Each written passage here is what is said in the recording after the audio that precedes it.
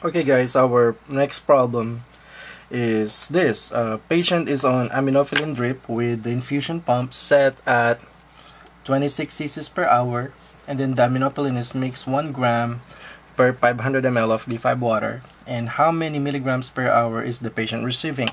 Okay so uh, patient is receiving 26 cc per hour 26 ml per hour and how many milligrams per hour is he receiving okay?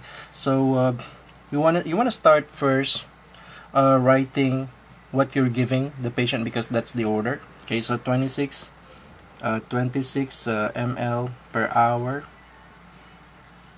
Okay now we're going to use dimensional analysis again.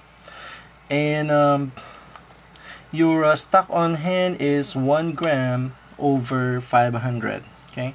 So you want to put 1 gram here and 500 ml and why do you want to put 500 ml as your numerator so that you could cancel ml on this uh, on your on your 26 so cancel ml cancel ml and now uh, what we have left is one gram.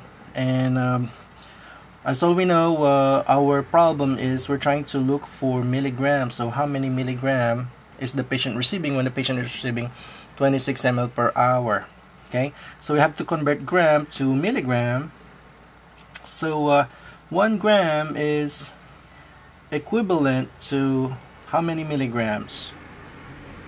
It is 1000 milligrams okay? So uh, cancel 1 gram per gram and then you have milligram per hour. Basically you're almost done here because you already uh, got your uh, what you're looking for milligrams per hour. But uh, hold on to your calculator first because uh, we could cancel this uh, the zeros manually. Uh, remember canceling your numerator the zeros from your numerator against the zeros from your denominator. So cancel. How many zeros do we have for our denominator? We have two.